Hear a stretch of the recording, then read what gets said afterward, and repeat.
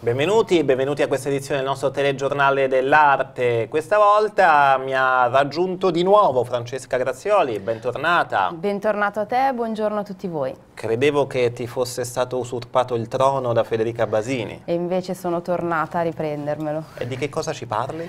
Vi parlo di una bellissima mostra che è in corso a Palazzo Strozzi a Firenze, quella di Bill Viola, Rinascimento elettronico. In occasione appunto di questa mostra che sarà in scena fino al 23 luglio, una celebre videoinstallazione dell'artista sarà esposta al Museo della Collegiata di Empoli.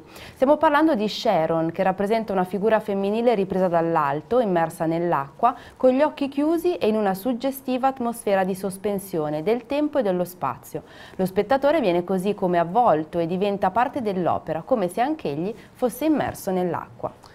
Artisti internazionali anche a Mantova, dove il Rinascimento italiano incontra la Cina contemporanea nella quattrocentesca eh, casa del Mantegna, eh, con la mostra Wu Zhe Unbounded, ovvero sconfinato, infinito. Eh, fino al primo maggio dieci pittori cinesi di rilevanza mondiale dialogheranno con gli eccezionali spazi della dimora eh, di uno dei padri dell'arte italiana. Gli artisti in mostra appartengono a tre generazioni distinte, ma ad accomunarli c'è la scelta scelta di recuperare un legame con le proprie radici, un itinerario attraverso le differenti generazioni a dimostrazione che né la rivoluzione culturale né le migrazioni e la globalizzazione hanno intaccato i nuclei primari della cultura artistica cinese, ancora presenti e vitali nella produzione contemporanea. Conosciamo meglio la Camera degli Sposi di Andrea Mantegna, uno dei luoghi che ospitano la mostra.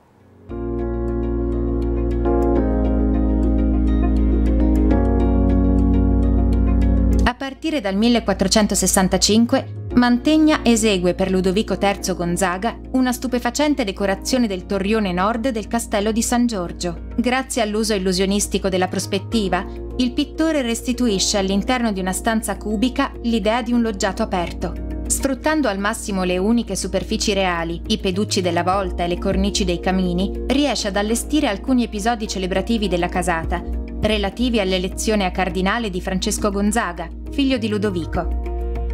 Sulla parete nord è raccolta la corte di Ludovico mentre riceve la buona notizia dal messaggero. I personaggi, caratterizzati con grande attenzione, poggiano sulla cornice del camino e sono intervallati da finti tendaggi, in un gioco di rimandi tra spazi reali e spazi dipinti. Nella parete ovest il marchese incontra il cardinale, mentre alle loro spalle si apre un paesaggio idealizzato con alcuni monumenti romani. Al centro della volta si trova un finto parapetto con personaggi scorciati che si affacciano. Con i putti, il pavone e il vaso in bilico, l'illusione spaziale raggiunge la massima espressione e dalla dimora dei Duchi di Mantova alla Venaria Reale di Torino. È stato presentato lo scorso sabato il laboratorio per bambini e famiglie Disegniamo l'arte, ideato in collaborazione con l'associazione Abbonamento Musei Torino Piemonte. I bambini potranno fare una passeggiata nei giardini della Reggia per scoprirne la storia e per osservare forme e colori della natura e dopo aver conosciuto questi luoghi reali potranno poi scegliere una porzione di paesaggio da disegnare prima nei giardini en plein air per poi completare il lavoro in un secondo momento con matite e colori creati con elementi naturali durante la loro visita alla reggia. E rimaniamo sempre nel magico mondo dei bambini parlando della favola di Pinocchio che è diventata un particolare punto di unione per il lavoro di eh, artisti provenienti da Stati Uniti, Giappone e Italia. Sarà infatti inaugurata il 9 aprile al Parco di Pinocchio a Collodi eh, l'esposizione permanente di sei grandi statue in pietra serena realizzate la scorsa estate durante il primo simposio internazionale intitolato Scultori in Cava.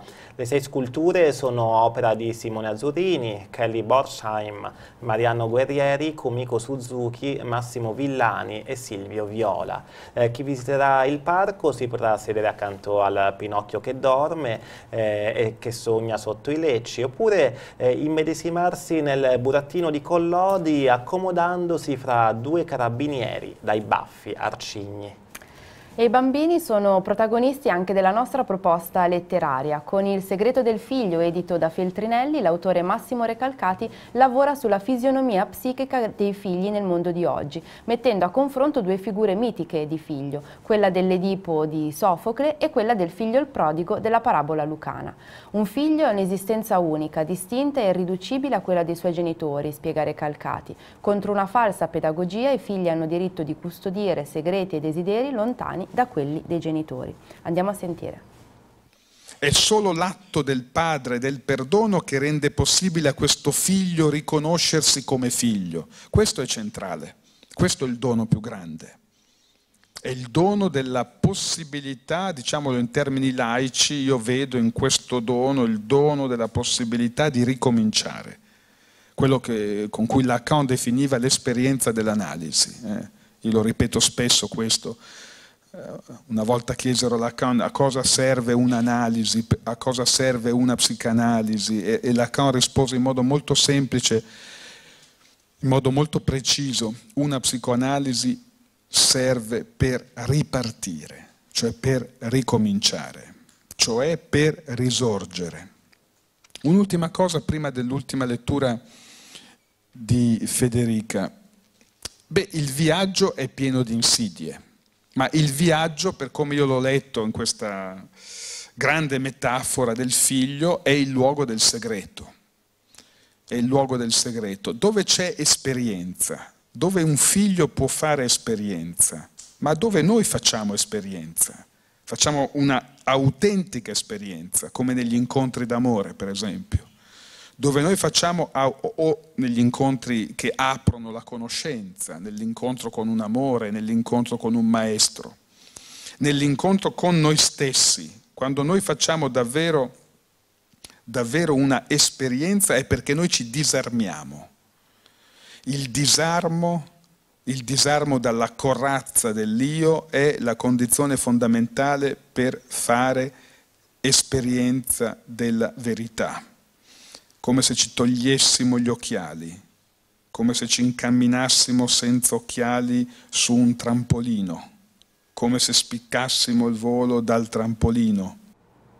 Il tema familiare è trattato anche nella proposta cinematografica di oggi. È tratto da un libro di Eric Emanuel Schmidt, rappresentato anche a teatro. Dal 6 aprile esce al cinema Piccoli crimini coniugali. Si tratta di una pellicola che punta molto sulla bravura degli attori chiamati a interpretare una coppia sull'orlo del collasso. I due protagonisti sono Margherita Bui e Sergio Castellitto e ingaggiano un vero corpo a corpo in cui mentono, rinfacciano, accusano, mettendo in questione il matrimonio e la coppia. Andiamo a vedere il trailer. Che cosa è successo la sera che sono caduto? Perché io non riesco a ricordare? mi ami.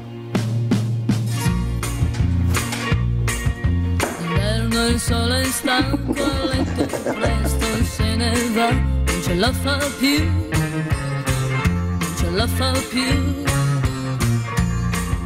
La notte adesso scende con le sue mani fredde su di me, ma che freddo fa, ma che freddo fa. Io ti ho amato molto. Basterebbe una carezza per un cuore di ragazza, forse allora sì che t'amerà. Tu sei gelosa, tu non sopporti l'idea che io possa toccare un'altra donna! Tu ti diverti a torturarmi! Tu devi dirmi la verità, devi dirmi la verità. Mi stai mentendo. Anche tu, anche tu mi stai mentendo! Vattene via!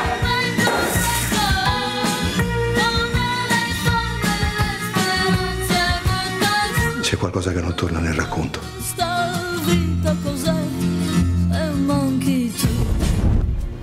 Che cosa è successo l'ultima sera? Perché io non riesco a ricordare? Perché non riesco a ricordare quel momento cazzo? Forse perché ti conviene, sai? Passiamo ora al teatro. Il premio Riccione per il teatro compie 70 anni. Il più longevo concorso italiano di drammaturgia torna per la sua 54esima edizione con un nuovo premio speciale per l'innovazione drammaturgica, insieme al dodicesimo premio Riccione Pier Vittorio Tondelli, riservato agli autori under 30. Aperte fino al 5 giugno le iscrizioni. L'opera originale deve essere in italiano o in dialetto e la proclamazione dei vincitori avverrà il 23 settembre. Sostanziose anche le cifre per per i finalisti, ovvero 15.000 euro il premio principale e 10.000 euro quello per eh, gli under 30. Un uomo che è riuscito a toccare tutte le sfaccettature della recitazione e dell'umorismo è stato senza dubbio Antonio De Curtis, in arte Totò. Il 15 aprile ricorreranno i 50 anni dalla scomparsa del principe della risata e l'Università degli Studi di Napoli Federico II, sotto la proposta del grande Renzo Arbore, ha deciso di conferirgli la laurea honoris causa alla memoria in discipline dello spettacolo. È dall'Ateneo, fra i più antichi d'Italia del mondo, un riconoscimento per avere incarnato e portato sullo schermo tutte le articolazioni dello spettacolo, dalla mimica alla comica, che riuscivano particolarmente spontanee, a quella teatrale e cinematografica, acquisite da una lunga esperienza personale eh, che Totò ha vissuto e eh, saputo catturare. Sentiamo la dichiarazione del presidente della Campania, Vincenzo De Luca, al riguardo una personalità del mondo dello spettacolo che ha condiviso il destino di tanti nel mondo dello spettacolo in Italia, quello di essere onorato ed apprezzato dopo la morte. Come sapete quando era in vita c'erano molti ambienti, soprattutto radical chic, che guardavano a Totò come a un personaggio minore. Gli anni ci hanno aiutato a scoprire la grande umanità ma anche la grandissima arte di Totò.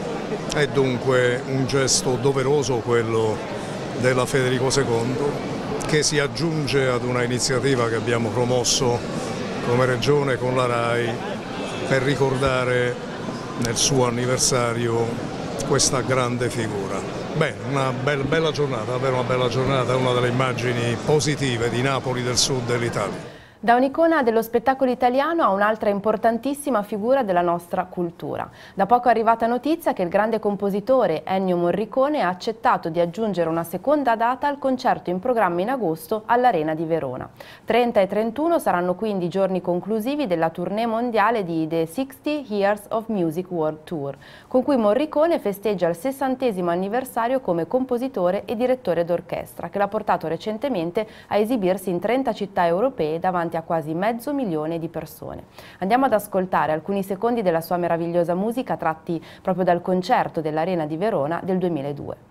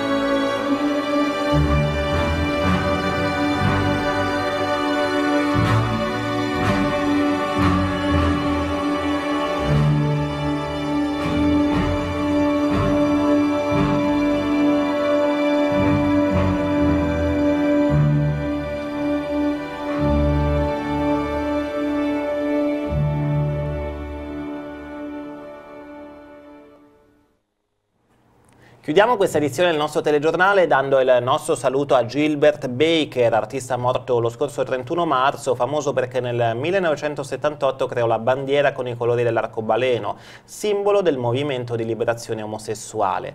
L'artista disse che vuole trasmettere l'idea della diversità e della inclusione utilizzando, disse testualmente, eh, qualcosa dalla natura per rappresentare eh, che la nostra sessualità è un diritto umano. Nel 2015 il Museum of Modern Art eh, di New York, il MoMA, acquistò la bandiera per la sua collezione di design, definendola una potente pietra miliare. E per questa edizione è tutto, grazie per essere stati con noi, arrivederci alla prossima edizione del nostro telegiornale. Arrivederci.